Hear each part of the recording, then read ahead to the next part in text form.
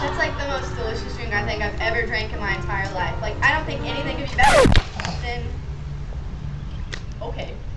You thirsty? Well, yeah, but that was why I was drinking a delicious Mountain Dew before you knocked it out of my hands.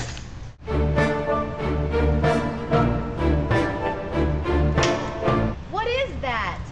A Mountain Holler. What's it taste like, mister? Have you ever hollowed on a mountain? It tastes just like that. Can I taste it? Sure.